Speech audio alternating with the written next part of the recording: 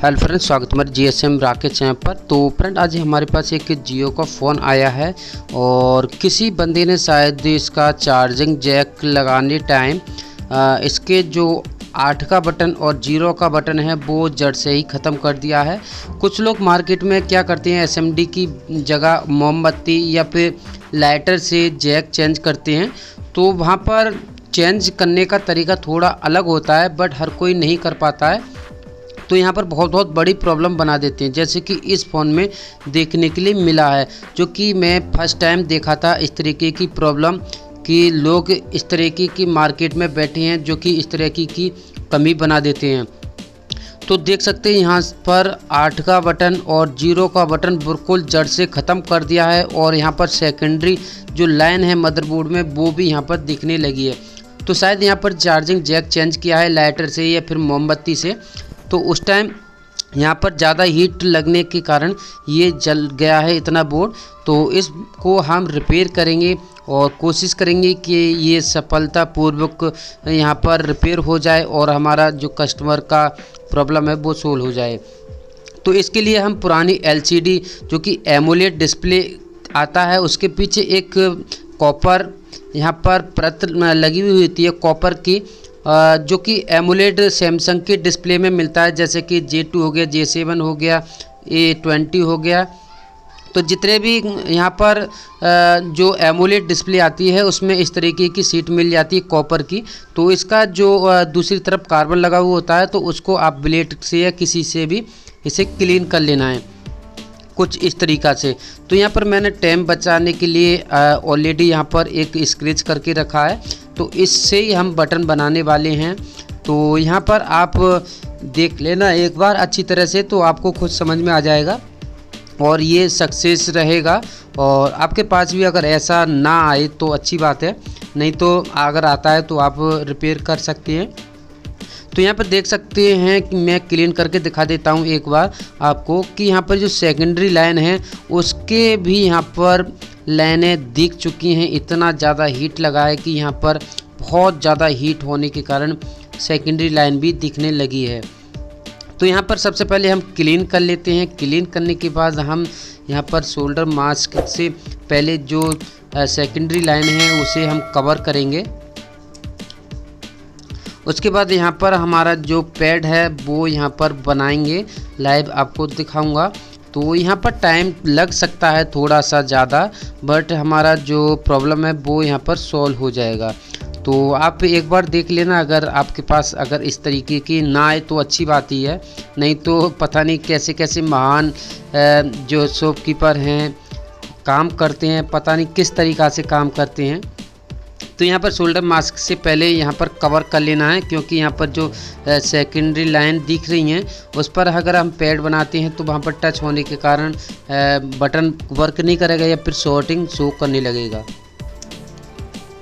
तो इसको आपको पहले कवर कर लेना है शोल्डर मास्क से, यहाँ पर पुश कर देना है अच्छी तरह से, उसके बाद आपको जैसे मैं करके दिखा रहा हूँ, उस तरीके से आपको यहाँ पर काम में लेना है और इस, ये प्रॉब्लम सॉल्व हो जाएगी और देखते हैं क्या हमारे इस फ़ोन में भी सॉल्व हो पाती है, नहीं हो पाती है सक्सेस हो पाती है, नहीं हो पाती है और कितना सक्सेस है। तो जो भी काम होता है, वो प्रॉपर तरीक़ा से सक्सेस ही होता है बट कुछ काम ऐसे भी हो जाते हैं, ज़्यादा हार्ड वो जुगाड़ ही रह जाते हैं। तो देखते हैं ये जुगाड़ रहेगा या फिर हमारा जो काम है वो सक्सेस रहेगा, पक्का काम रहेगा। तो ये तो काम होने के बाद ही पता चलेगा। क्योंकि यहाँ पर मदरबोर्ड की जो हालत करी है किसी शॉपकीपर ने, वो बहुत ही ज़्यादा ख़राब कर दी है।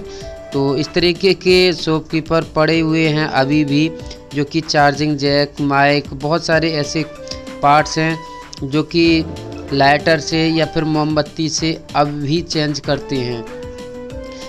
और वैसे लाइटर से मोमबत्ती से कर सकते हैं। मोमबत्ती तो पुराना हो गया, उससे धुआँ बहुत निकलता है बट लाइटर से आप कर सकते हैं। बट लाइटर से करने का तरीका भी आपको आना चाहिए, जब भी लाइटर यूज़ करना चाहिए, क्योंकि लाइटर का जो टेम्परेचर है, वो एसएमडी से कई गुना फालतू होता है। तो इसलिए लाइटर को भी आप यूज़ कर सकते हैं, जिनके यहाँ पर लाइट प्रॉब्लम है। बट उसका आपको अच्छी तरह से नॉलेज होना चाहिए। अगर आप भी उनमें से कुछ लोग हैं तो मैं बना दूँगा लाइटर से।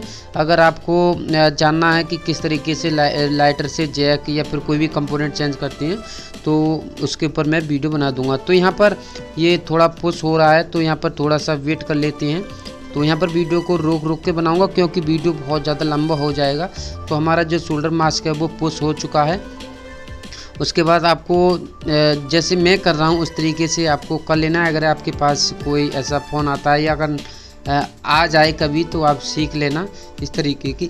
तो यहाँ पर मैंने वीडियो को फॉरवर्ड कर दिया क्योंकि वीडियो बहुत बड़ा हो चुका था और ये छोटे छोटे काम में कभी कभार बहुत ज़्यादा टाइम लग जाता है। तो मैंने वीडियो को फॉरवर्ड कर दिया है। आप इन्जॉय करें, देखते रहें किस तरीके से मैंने इस प्रॉब्लम को सॉल्व किया है।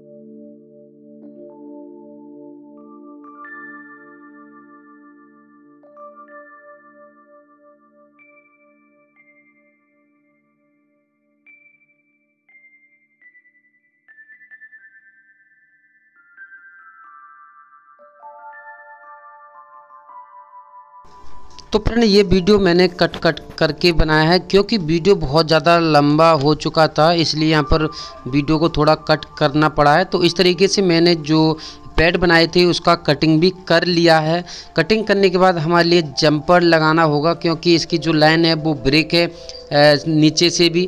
तो हमारे लिए ऊपर से ही जंपर लगाना पड़ेगा जंपर वायर से।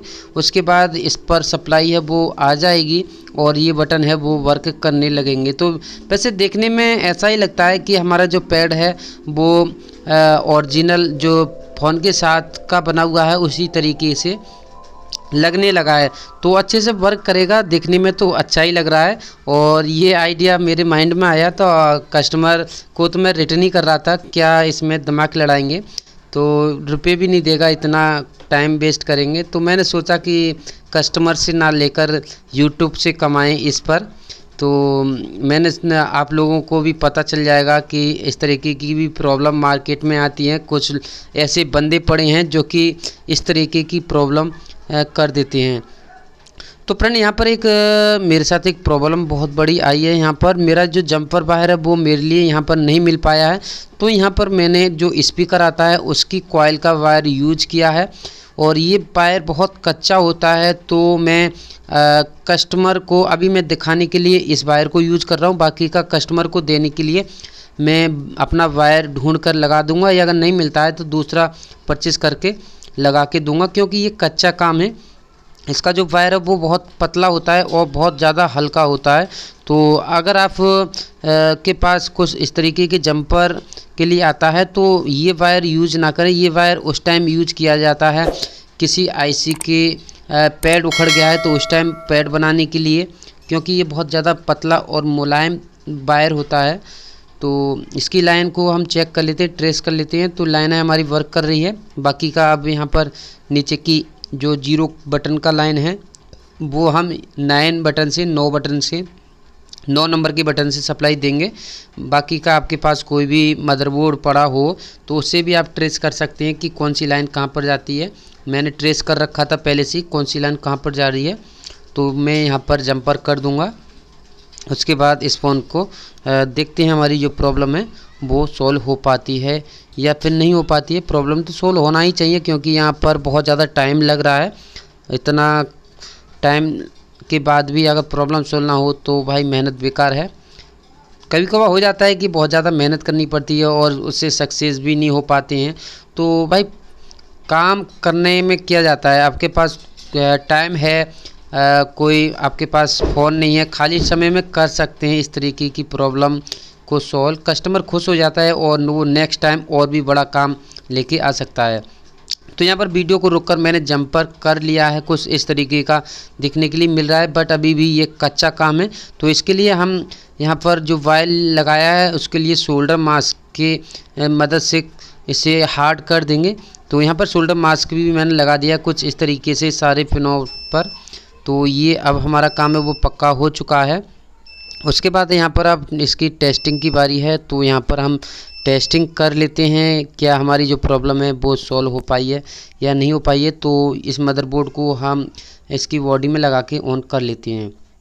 तो यहाँ पर फ़ोन को मैंने ऑन कर लिया है, उसके बाद यहाँ पर बटन चेक कर रहे हैं तो बटन फ्लैश हमारा काम कर रहा है, बटन है, वो वर्क कर रहा है, बटन हमारे चल रहे हैं। तो एक बार इसका पैड भी लगा के देख लेते हैं कि पैड लगाने के बाद ये वर्क करेगा, नहीं करेगा। तो यहाँ पर भी पैड है वो मैच नहीं खाया तो थोड़ा मैं मैच कर लेता हूँ।